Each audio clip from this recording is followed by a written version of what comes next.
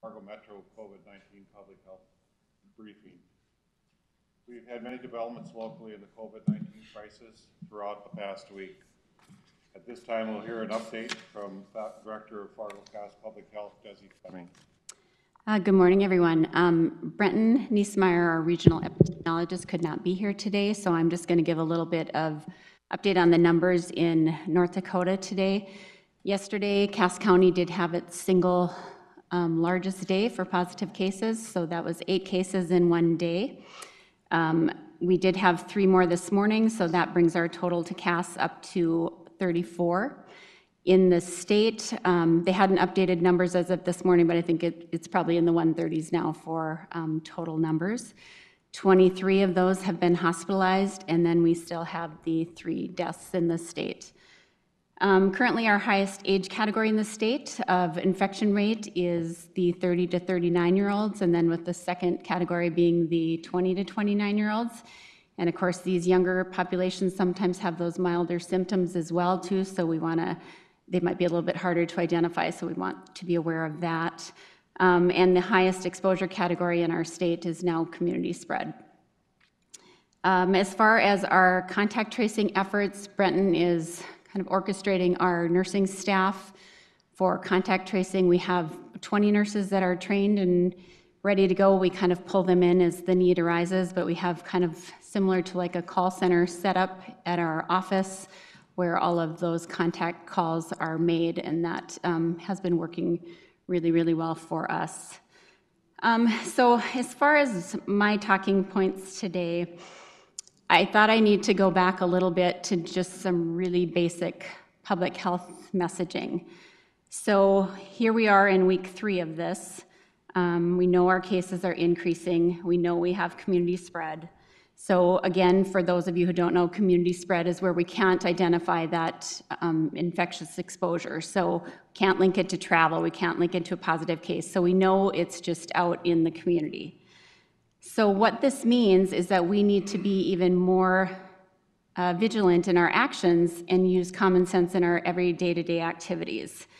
I know this event has challenged people because of the many unknowns. Uh, We don't have a lot of control over certain situations in this, but there are things that we do have control of, and that's what we need to focus our efforts on. The only way that we can slow this virus spread and to flatten that curve is if everybody steps up and does their part. So in healthcare, we're taught about um, universal precautions, so which basically means that we treat everybody as infectious even though we don't know their status.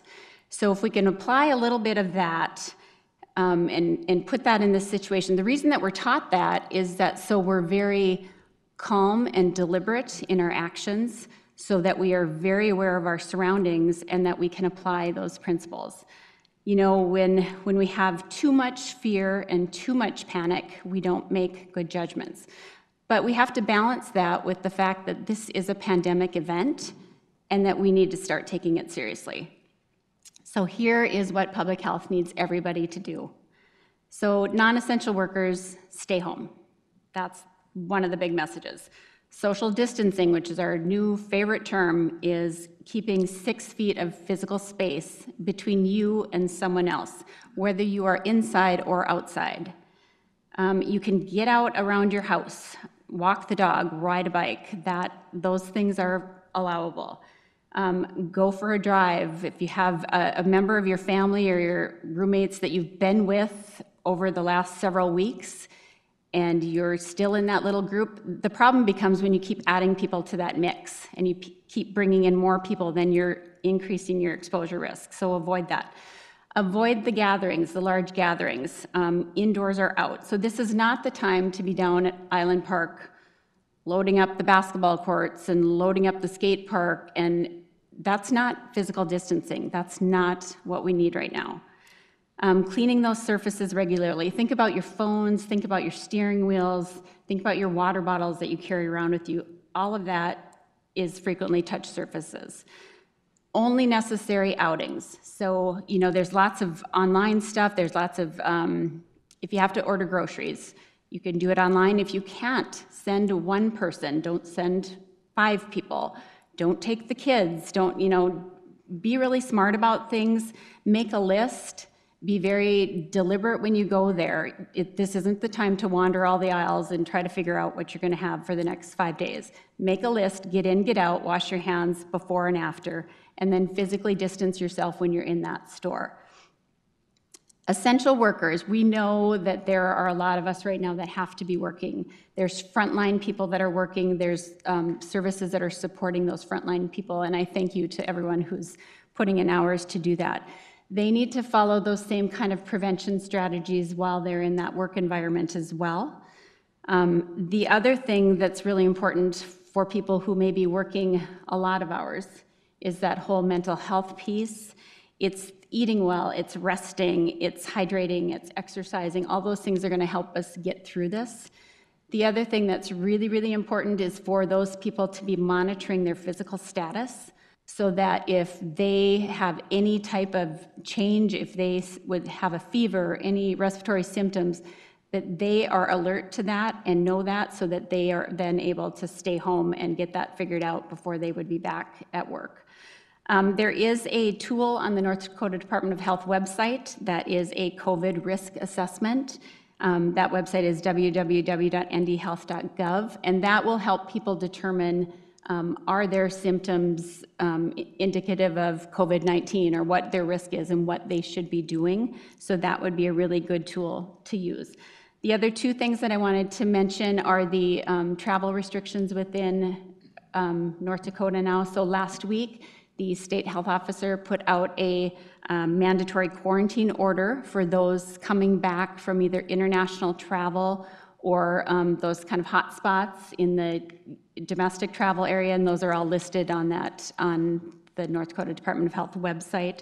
So that is a mandatory order for 14 days. They have to quarantine in their home, and there would be then consequences if they're not following that.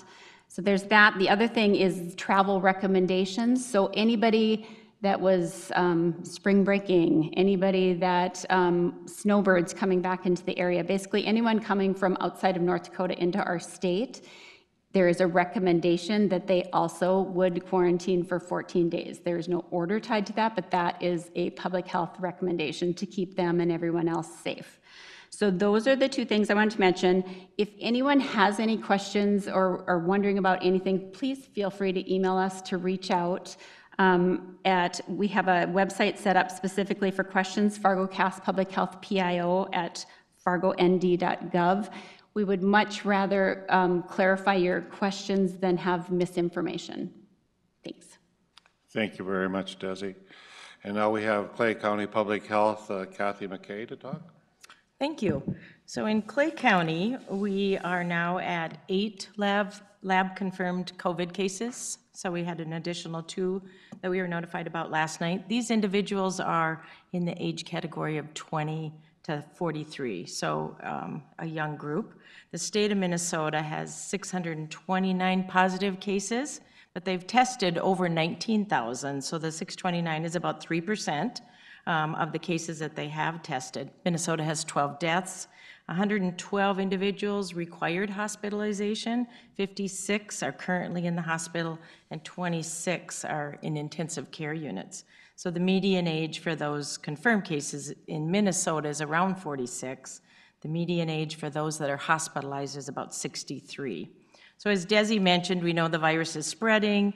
We know that it um, people can have symptoms even prior to having um, uh, the, uh, they, can, they can have the virus before they have the symptoms. And sometimes those symptoms are mild. So I re reiterate what Desi talked about is that six foot social distancing. That is very important to, to break that infectious cycle. The governor of Minnesota ordered the stay at home, um, and that is effective through April 10th at this time um, leaving home again just for essential needs. So if it's health and safety things, supplies and services, if you're caring for others, you can still engage, as Desi mentioned, um, outdoor activities, but that six foot distancing is very important when you think about your activities um, engaging with others. Clay County Public Health and Social Services, we are working again with our vulnerable populations, those in long-term care facilities, group homes, homeless shelters. We're providing information and resources for those individual families and service providers in regards to the pandemic planning and response.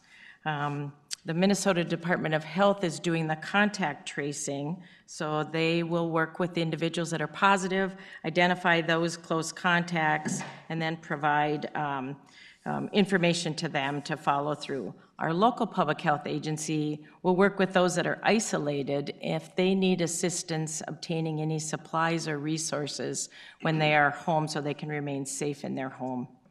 Um, We also know that we're still have a shortage of personal protective equipment, I think for healthcare workers and first responders. So check the websites. I think there's information out there in regards to who needs the personal protective equipment, N95 masks, surgical masks, gowns, um, safety goggles. And I know that um, even equipment that is past the expiration date can still be accepted and can be used in a variety of, of places for first responders.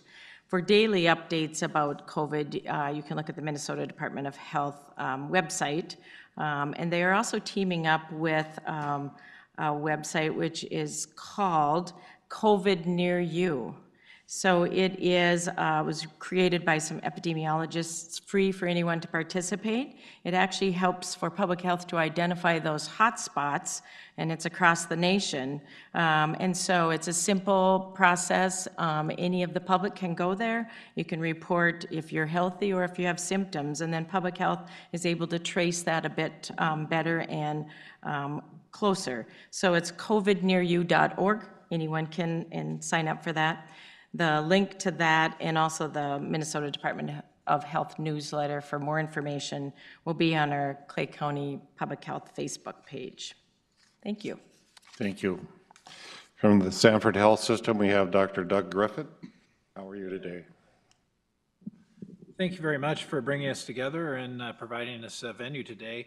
Um, At this time, in a- in an update, we're not experiencing any uh, capacity issues related to COVID. We have plenty of open beds as much of our other patient volumes have decreased and, and we're managing the situation. Uh, We currently, as of this morning, have uh, four inpatients positive for COVID. We've been fortunate to have a couple of uh, patients discharged uh, and recovering. We've unfortunately had eight employees that have now tested positive for COVID. Uh, They're all doing well and recovering, recovering at home. Uh, Kind of uh, to the points regarding testing, we have seen uh, a a significant increase in our testing. Uh, We averaged about uh, 37 tests per day at our drive-through testing for the first week. Last week, that average went up to 50, and yesterday we did 90, uh, which is the most we've done in one day. Um, We continue to look uh, for all of the services that have been impacted, look for creative ways to deliver those services. Uh, And one of our big success has been the transition to uh, video visits. Uh, And uh, on Monday, we did a 1,000 visits, video visits alone. Just by comparison, all of last year, we did 100. So uh, it's been amazing to see our uh, staff uh, adapt to that and how quickly the public has adopted the virtual visit as well. Uh, We have a solid surge plan in place for the care of uh, COVID patients. Uh, We feel good about our capacity now, but the surge target number seems to be constantly evolving and moving depending on the models you look at, and we're working very hard to stay one step ahead in our planning.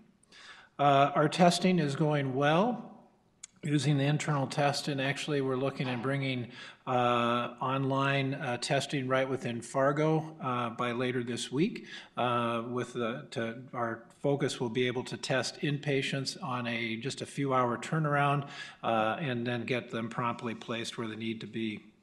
Um, And the other thing I wanted to highlight today, a little bit later this afternoon, myself and Dr. Avish Nagpal, uh, our Medical Director of uh, Infection Prevention, will be hosting a uh, town hall or grand rounds type format for the community access hospitals across the state. Several have been wanting information, hey, how do we manage these patients? What can we do? And to help disseminate that information. So we're looking forward to that. Uh, We continue to encourage call before you go, uh, so we're requiring patients to call before an appointment for coming to clinics. Uh, Those people, we're trying to convert as many people as we can to, to video visits, but if they do need to come in, we'd like them to call, and so we can direct them as well.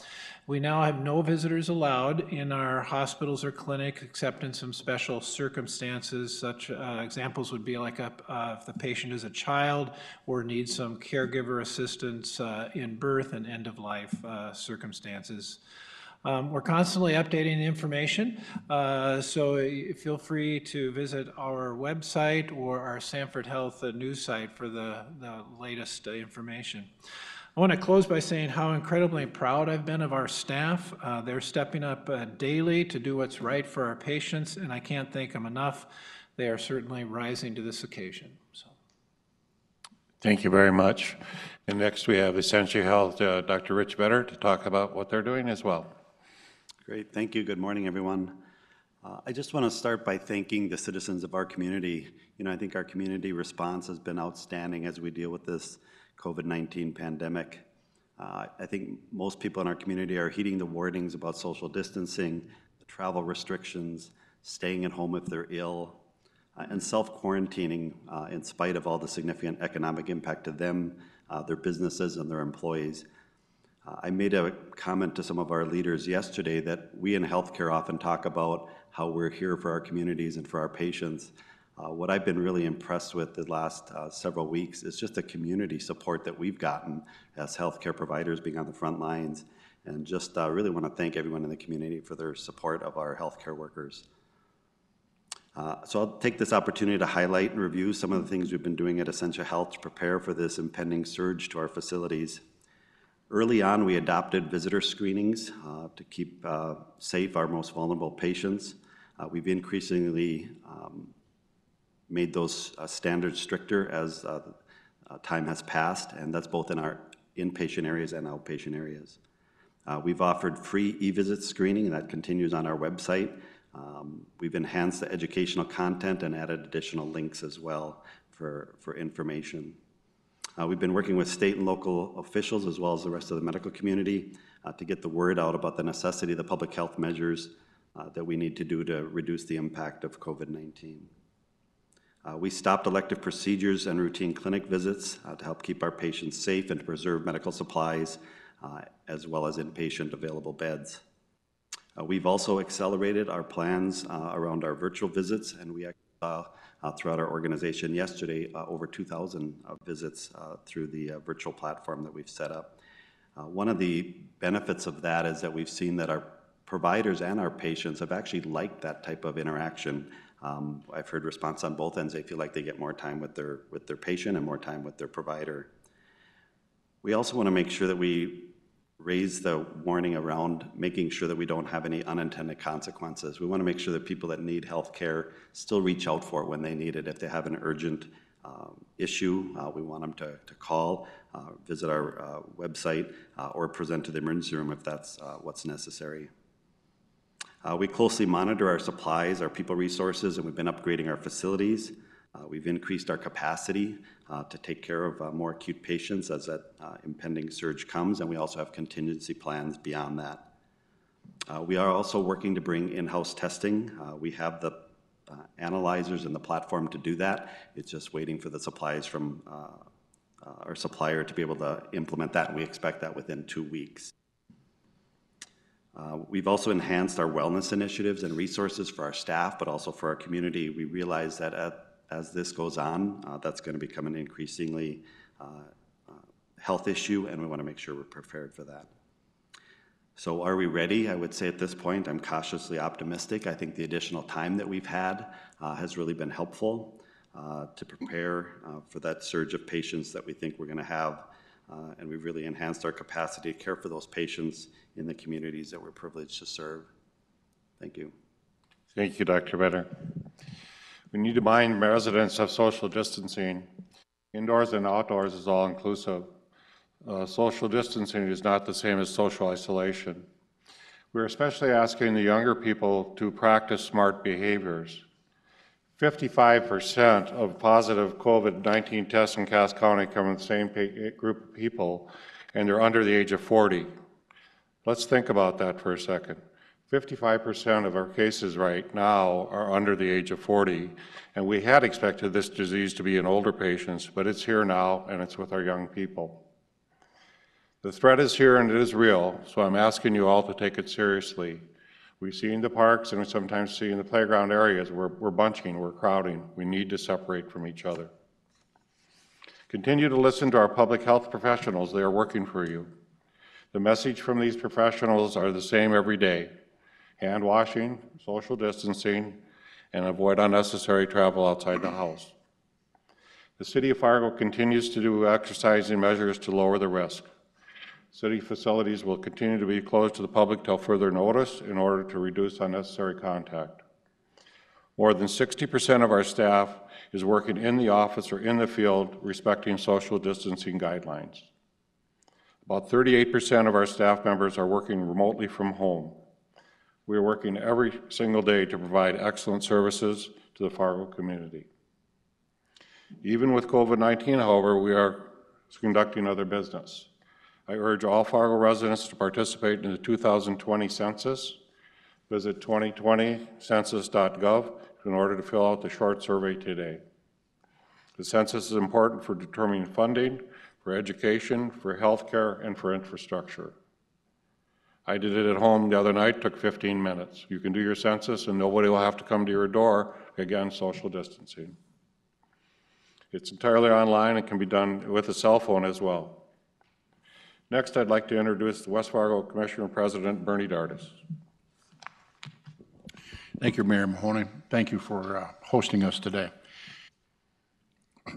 West Fargo is continuing to the, uh, with an extension of all of our building uh, closures. Uh, We continue to have our uh, key administrative staff is working from home. All of the other uh, essential services, uh, garbage, sewer, water, uh, all of those types, police and fire, all of those are continuing to function uh, with the social distance, distancing, washing of hands, all of those types of things. So the city of West Fargo continues to operate very efficiently and very effectively. Uh, Myself, my fellow commissioners, our administrators are in constant com- uh, uh, conversation and communication by phone. Uh, We are given updates. We continue to do a lot of of, uh, updates to the public with regard to what is happening in our community. Um, Effective yesterday, West Fargo has initiated all the protocols for the spring thaw and flooding. Uh, The gates to our city, if you will, we have floodgates, and they have been initiated as of yesterday afternoon. Uh, So I've been doing uh, daily drives through all of the uh, areas that uh, have known to give us uh, concern in the past, as as well as Public Works and Engineering, and we are very, very confident that we are in a position that this spring thaw will be a non-event uh, unless the, uh, the, what Mother Nature throws at us tomorrow. So obviously, we're monitoring that very closely. Uh, We are now experiencing, or will soon be experiencing, a great deal of water coming from Lake Ashtabula.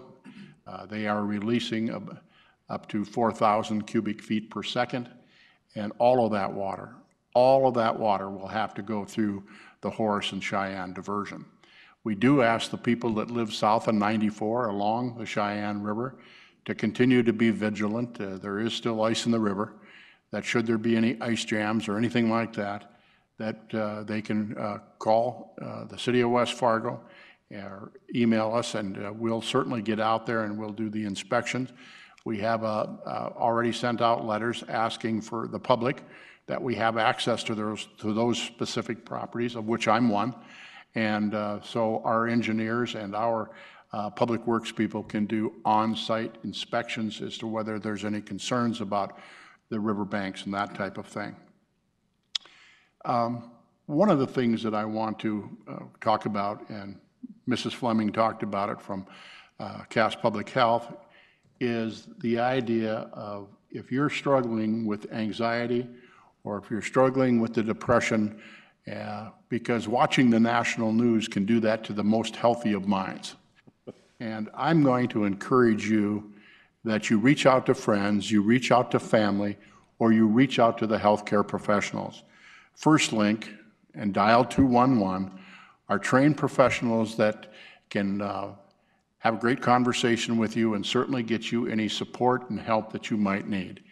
Uh, This is a troubling time for all of us, and uh, we don't want to lose anybody uh, due to those type of conditions. Governor Burgum has talked about North Dakota tough, and he's talked about North Dakota smart.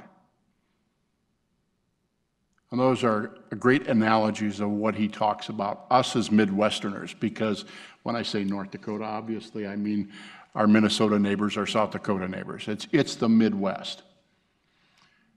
But I'd like to put this in perspective for you. By social distancing, by washing your hands, by following all the in- instructions that the great healthcare professionals that are all working together, which is phenomenal. The, the integration of all of their resources is awe-inspiring. But North Dakota and Minnesota and our region, let's do this. Let's do this not for yourself because we're of that maybe culture and maybe generation. Let's do this to protect our children. Let's do this for, to protect our friends. Let's do this to protect your grandchildren and my grandchildren. So I appeal to you, follow the advice of the CDC and all of the local professionals that we have in this great community that are working so hard together, and my fellow elected officials. The time is now. This, this pandemic is in Fargo, North Dakota. It's in Moorhead, Minnesota. It's in Cass and Clay County. Without this, without your dedication and understanding of what this means, we can't change the bell curve. Thank you very much. Very good. And now we do get to hear from our Moorhead Mayor, Johnathan Judd.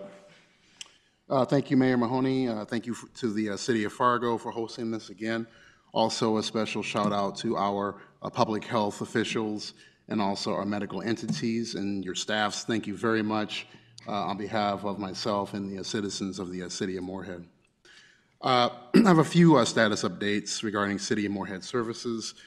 Just to reiterate, generally speaking, um, our city offices are, or, sorry, systems remain operational. Um, Our offices still are closed to the public. Uh, Staff are telecommuting and uh, working alternate schedules to the best extent possible to make sure that our uh, systems are up and running, fully operational, functional, uh, to provide uh, support to our residents. We do have some new sanitation protocols. Uh, My understanding is that the curbside collection of totes will continue on schedule. However, excess garbage must be taken by the residents to the solid waste transfer station instead of being left on the curb for special pickups. Uh, The reason for this is to protect our sanitation workers and to ensure the continuity of service. Uh, Also, I will give an update. I know the Coalition of Greater Minnesota Cities and the League of Minnesota Cities have been tweeting this, but for those who do not get those tweets, please only flush toilet paper in your toilets. Uh, This is a huge strain on our wastewater and infrastructure, so we really want to make sure that we don't have any uh, big issues coming out of our water treatment plant due to flushing more than toilet paper. Uh, Any and all up-to-date information is always available at cityofmoorhead.com forward slash COVID-19. And I'm going to echo, and I, I appreciate uh, the elected speaking on this, and I, and, and I think both mayors are right. I mean, uh, we've had a lot of usage in our, of our parks. I've been out and about myself, trying to get my walking down, biking uh, with my uh, uh, kids. Love to see the people out and in great spirits. Keep that up. I've also been seeing on social media, there's a lot of people watching the scenic yet rising Red River. Uh, That, that, that, that is great as well. Please use the parks and our walkways uh, to get some fresh air to, uh, to bike and walk. But I implore you, please, please keep the children and adults off of the playground equipment. Also, please stay out of the floodwaters uh, for your personal and family's uh, health, safety, and well-being. Uh, Don't be afraid to be what I think we call a neighborhood parent. Doesn't mean you're a helicopter parent. It means be the neighborhood parent. If you see children that are doing things that they should not be doing, don't be afraid to call them out and get them to act right. Uh, a lot of those neighborhood parents are the reasons why I am sitting here today uh, because they came and checked me when I shouldn't be doing things I shouldn't have been doing. But again, to Mayor uh, Bernie's point, we all want our kids to be sitting here eventually one day too, in that same capacity. So if it means coming out and telling someone's child that you don't know, go home, or to get off the equipment, or to just maintain the social distancing rules, please do so.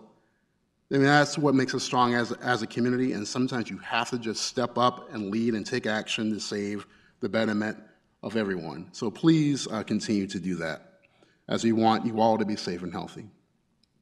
Lastly, I'll echo uh, uh, Mayor Bernie's point also, or did it come from Mayor Mahoney? I'm not sure, regarding the census. A good census count is always important to our schools, our businesses, and our communities. In times like now, where we have an emergency declarations, is even more important. So as of yesterday, my understanding is that Moorhead has a response rate of 46.3%, which was above Minnesota's statewide average of 43.8%, but we can do better. So please uh, feel free to go online, take the 15 minutes, fill out your census surveys, and let's get it all correct and accurate. Other than that, again, thank you all for being here this morning, and I'll pass back over to you, Mayor Tim. Thank you. Cass County Commission Chair Chad Peterson. Thank you, Mayor. Mayor Judd and I grew up together, and those parents were the same ones that checked me, so thank you to them. As the both of us wouldn't be here, Mayor. Amen. With that, Cass County is open for business. We are by, open for business by appointment, however. Uh, So thank you, thank you, thank you to everyone who's done their business via Cass County online, by phone, and scheduled visits accordingly through casscountynd.gov. Since March 20th, we've had hundreds and hundreds and hundreds of people that have done that. And obviously, the social distancing phrase that we're all getting tired of is purposeful in this case. It, it keeps you safe, it keeps our staff safe, and it makes sure we can keep our doors open as long as reasonably possible. Another thing, our public meetings have changed. With an executive order by Governor Burgum, we're now allowed to have meetings solely online or solely via telephone. And with that, uh, April 6th commission meeting and Cass County Zone Board, which is a new social services board, will be conducted and accessible via conference call. To the public, thank you for your understanding as we balance our access to our meetings. And I know this is a struggle for those of you that are concerned about transparency, those of you concerned about access. This will evolve. Right now, we don't have the ability to do what we're doing right now here in City Hall with video conferencing. We'll probably get there soon in Cass County. We understand the concern, but again, we have to keep people apart. If we have a meeting that happens to have 20 or 30 people show up, we, we simply won't have the ability to conduct the meeting safely. So with that, uh, that's how we're going to conduct our meetings in the near future. The last and most important part, in my mind anyway, Governor Burgum also issued an executive order regarding the election in June. The primary will be conducted solely by mail-in ballot. Look for more instructions coming soon from our county finance director. Another big change, but again, it's necessary to ensure we maintain social distancing. The polling stations by nature have people, many of them seniors, and I'm sure those of you who have voted recently uh, understand most of them seniors and work in close proximity to one another every day. To reinforce that, we've gone through what we can in terms of recruiting. These people aren't full-time position, they're all part-time folks. So the people that we tried to recruit in the past aren't showing up to do their job again. And again, these are older individuals that are afraid for their own safety. And I think that makes some sense to keep them safe, keep you safe, and we'll get through this. Not ideal, but again, it's a change and we'll get through it. To those of you, Mayor Dardis, you said you took a bit of my thunder, but I'm glad you did. Mayor Judd, I'm glad you did as well. To those of you that are concerned about everything going on, be it tumult regarding rent, regarding food, regarding electricity, I've talked about programs available through Cass County in the past, and those programs, again, are maintained, they're open, accessible, and we have staff there to support you. Please do not be afraid to call and ask for help. We're North Dakotans, as Mayor Dardis said. Minnesotans, we're proud. Now is not the time for pride. Ask your neighbors for help if you need it. Ask your neighborhood parents to check your kids if they need it. It's okay. With that, again, thank you to everyone that's tolerating this situation, doing your best with what is less than ideal. If you have any questions, again, check our website, casscountynd.gov. We're available at uh, Cass County ND Gov on Twitter, uh, on Facebook. Follow us. Whatever changes you, that are going to come up, you're going to have them there by the day. Things are evolving, and uh, we'll continue to get better. Thank you for your patience and tolerance. Thank you. And finally, we have Clay County Commissioner Vice Chair Jim Haney. Thank you, Mayor Mahoney. The Minnesota governor's stay-at-home order limits public interaction to help slow the spread of COVID-19 and save lives. Minnesota County and city law enforcement will not stop you for the sole purpose of inquiring if you are following this order. You also do not need paperwork to verify if you are an essential employee. Our Clay County employees are all deemed essential workers. Effective March 30th, we only provide necessary services while limiting all public access to Clay County buildings, law enforcement, and the courthouse. The Seventh Judicial District Court continues to be open for matters authorized under administrative order. Public access is limited to those people and their attorneys, and they will appear remotely when feasible. The Motor Vehicle Department closed on March 27th. The Minnesota Legislature extended the time frame to renew driver's licenses, permits, or disability parking permits that expired during this emergency. The Household Hazardous Waste Facility is closed in Moorhead and will not be accepting donations, so we are asking the public to not, please not leave materials at the facility until further notice. We would like to take this opportunity to thank everyone for the steps you are taking to stay healthy and to keep others healthy. We understand the individual sacrifices that everyone is making for the greater good of our community. Thank you. Well, thank you. Well, thank you, panel, for coming in today. We very much appreciate it. I think all of us are putting the message out there. You're going to start to see the numbers climb a bit, and we're a bit concerned about that, yes, but you also can help to flatten that curve, and it's really going to be up to the public to do that. So we're all ready, we're ready for surge, we're ready for what might come forward to us, but we need the public's help at this point. So thank you, everybody, for participating today, and uh, stay healthy.